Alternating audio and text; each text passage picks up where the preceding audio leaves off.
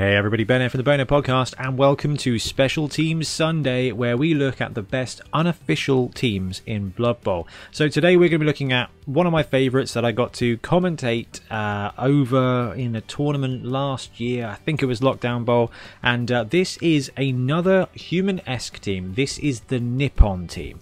So this team is from FUMBBL. It's from the FUMBBL Secret League, which is a fantastic resource. There's nearly a hundred teams that have been tested and played, and hundreds hundreds of games have been made with them. So Blood Bowl is a very tight rule set. There's a lot of cool stuff to do in there. We've got 29 teams in Blood Bowl 2020. Now, all of the FUMBBL Secret League teams are currently in the old rules, as is FUMBBL, so they're still sitting in the 2016 versions, um, but at some point that will change. But we're going to have a look at the Nippon team, some of the cool players, and some cool conversions you can do to get this team onto your pitch.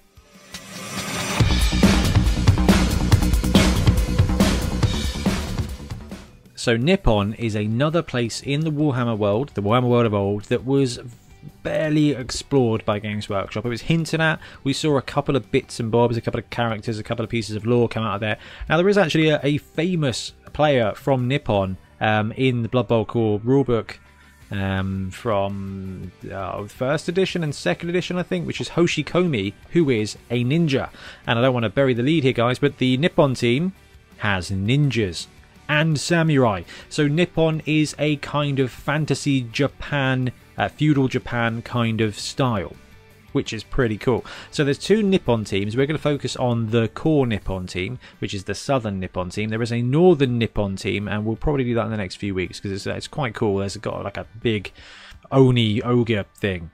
Oh man, I want to do the Minotaur team next, but then ooh, I don't know. We'll see. We'll see. Anyway, the roster here it's made up of Ashigaru, which are the lineman positionals. Uh, we've got four samurai, which are your kind of blitzers in this team. There are two warrior monks who start with claws, um, movement seven. They're pretty fast. They kind of prefer the role of a runner in this team because they get agility access early on, and then you have ninjas. Now I love the ninjas, especially in the Blood Bowl uh, 2016 rule set. It's going to be interesting to see how well they function in 2020 because they have Leap. But if you've been watching the channel and you watched our Theory Thursday on Thursday, surprise there, um, you will see that Leap is not as bad as we all thought, and these ninjas are going to be very frightening in 2020 as well.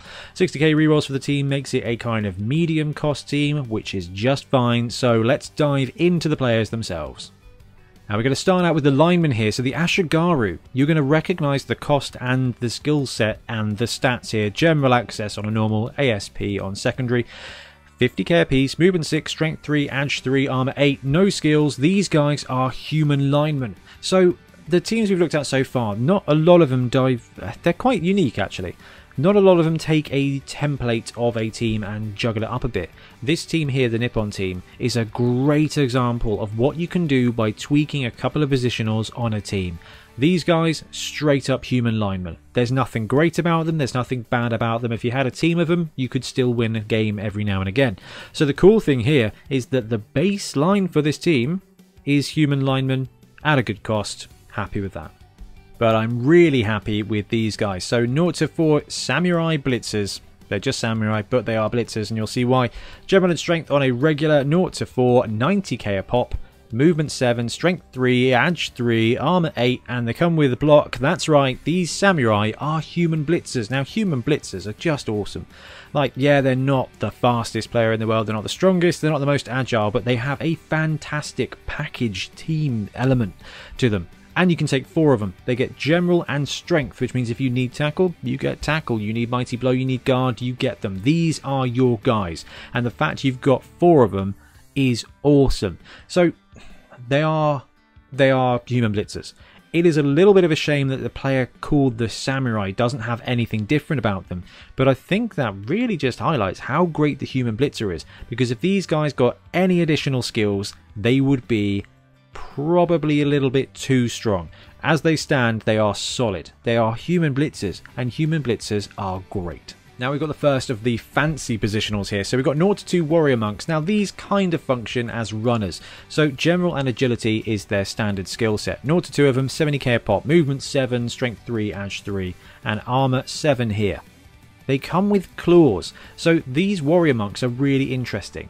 Generally speaking, they don't get taken early on. That armor 7 and the lack of a combat skill makes them really second string to those samurai. Samurai are awesome, the warrior monks are cool, and having claws is actually really useful later on because samurai by that point probably gonna have a guard or two, which means these guys get to wander up, take a two die block, and they already have claws. But general and agility and movement 7 means that they become blodgers really quickly. They become kind of nerfed werewolves in a way. The movement's slower, they don't have frenzy, but they do get blodge pretty quick They're good movement, and that claws element is going to massively help you out every now and again. But for me, it's all about the ninja. Two of them, guys. Okay, 90k a piece here. Movement 8, Strength 2, Edge 4, Armor 7, Dodge, and Leap. So they are essentially gutter runners, but they've lost a square of movement and they get Leap instead. General agility means that they can get blow, uh, get blodge real quick, or they can go for other skills instead. Ninjas are fantastic. So I got to commentate a bunch of games. This must have been Lockdown Bowl then. Yeah, it was me and Matt's BBL doing the commentary on this. Was awesome to see. These ninjas were fantastic. This feels like a human team with some of the more advanced bits removed and just a pair of slow gutter runners chucked in there or um, strength busted war dancers. They've got that vibe to them. Now, FUMBBL is 2016 rules, which means they are just leaping around on great numbers all of the time.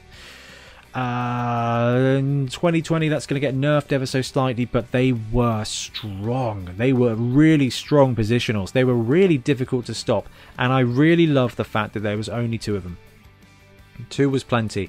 Gutter runners for Skaven, four of them is just horrific. You cannot stop that. When you've got two ninjas, you can survive with one. It's a lot easier with two but the fact that there are only two of them is actually a very strong balancing point. One would be uh, a fun element, but two just means you get a pair of ninjas. That edge is massive. They become your ball carriers, they become your star throwers and your star catchers. In the new edition, they are just going to be star runners, star catchers, no problem at all.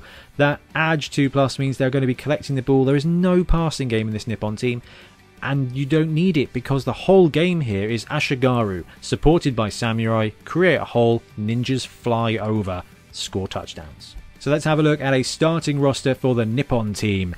Uh, we've gone with this one here, which is 970, so um, you can save the rest up and take an Apothecary, perhaps or an extra Ashigaru. The fact is, though, that those guys being armor 8 means they stick around, which is actually very helpful. So, 5 Ashigaru linemen, 4 samurai, 2 ninjas, and 3 rerolls brings you to 970.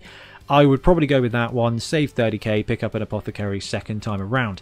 Um, the other thing you can do is drop a reroll, go with the same lineup, but have that apothecary. The it's going to keep a ninja alive potentially, but you're going to have to spend a longer time saving up for that third reroll it uh, it's, it's it's a tough one. It's up to you, and it depends on the kind of climate of your league as well. When it comes to FUMBBL and secret teams, there does tend to be a little bit more of claw than there would normally be. That means nothing when your uh, ninjas are armor 7. And those are the ones you want to worry about. You've got 4 samurai, 1 goes down, you'd be fine with 3 for a little while. Ashigaru linemen are freebies, you know what, you get the line, you get journeyman, it's not going to be a problem. They go on the line and they die. They've got decent armor as well. Ninjas are the ones you want to save, so having that Apothecary does keep them alive. I'd probably just run one game, buy the Apothecary, then start probably farming in maybe a Warrior Monk or an Ashigaru lineman to bolster it up. There's no big guy on this team, so your combat power has to come from um, that phalanx of samurai working together. But you know, when you've got four of them, they're going to get mighty blow quickly. You've got two ninjas and four blitzers. Okay, that's six really solid scoring threats. And when you add in the, the monks as well, you become you end up with some couple of movement seven dodgers real quickly as well. The team functions really well. It has what I would probably give a three and a half star offense for like punishment and in combat. That's fine. It's all about samurais being great human blitzers and ninjas just doing great magical ninja things. Uh, skill wise, kick is awesome on this team because ninjas start with leap. So you kick close, they don't get the ball, your ninja's jumping around, it's grabbing the ball. One ninja grabs the ball, collects it, farms it back to the other one. Samurai protect the ninja, you move forward six squares, cheeky ninja, leap, dodge, touchdown, scored. Uh, guard Mighty Blow on the Samurai just means that they can create your, your, your cohesive combat cohort, and then your ninjas getting blocked makes them blodgers at movement 8 and edge 4. It's just awesome. I just love this team. It's so good. It's just a minor tweak from humans, and yes, I know all of you are going to go. Well, of course you like it, Ben. There's basically gutter, there's basically flying gutter runners on there, and yeah, I know, but they're only movement eight, and there's only two of them. And the rest of the team is, well, the rest of the team is basically a good human team. I love this team. It's been on my to-do list since that tournament.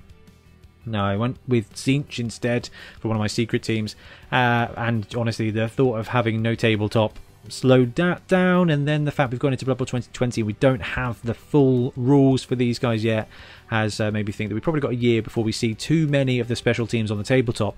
But the Nippon team here is really really solid. It's not crazy. The ninjas are good but the rest of the team is fine. And you know what? Those ninjas are not as good as war dancers. They're just not. They don't have the strength, they don't come with blocks, so don't worry too much about it. Let's have a look at some miniature options for the Nippon team.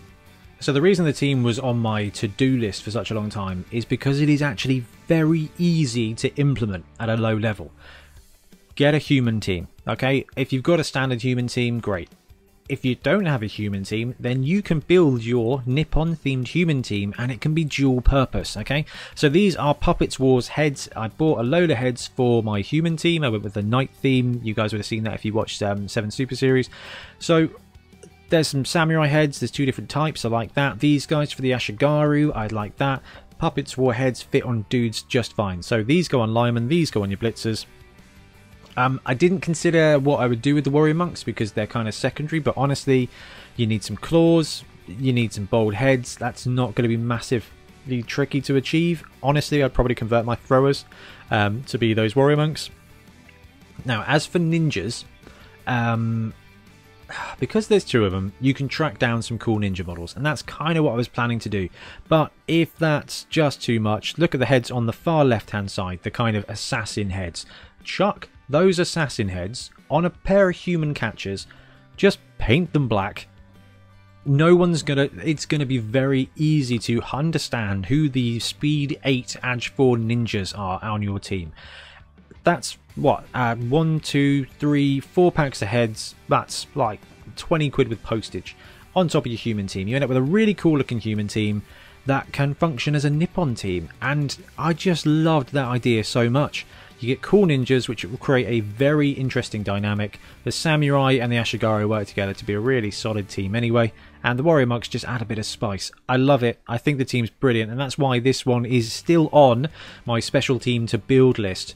Um, but obviously, Blood Bowl 2020 transition changed that up a bit, but this is gonna happen and if I don't use these heads I'll be 3D printing some but I think this is just so much easier and I really like the way this looks. Alright, so that's the Nippon team. As you guys got, I'm a big fan. So if you're up for playing some FUMBBL Secret League stuff, jump on to FUMBBL Secret League. Um, join the Discord. I think it's probably the best way to find some games, but or just join our Discord. I'm sure there's some nutters in ours who fancy some Secret League stuff as well. I'm one of them. The Nippon team is a really cool twist on humans, and I really am looking forward to seeing how these rules get adjusted into 2020. I cannot wait for FUMBBL to be adjusted into 2020 because we get to run an extra 100 different teams with the best Blood Bowl rules I think we've ever had. So it's great times all round. Nippon, fantastic modelling opportunity, really cool playstyle just two thumbs up for me. Let me know what you think of the Nippon team in the comments. I'm going to wrap up now. Thank you ever so much for watching. We'll be back soon with more Blood Bowl content. Happy blocking. Thanks very much for watching. We really appreciate your support. If you want to support the show even further, please like and subscribe. It really helps us out. Or come and join us in our Patreon, uh, link below, where you get early access to our content and monthly competitions. See you later.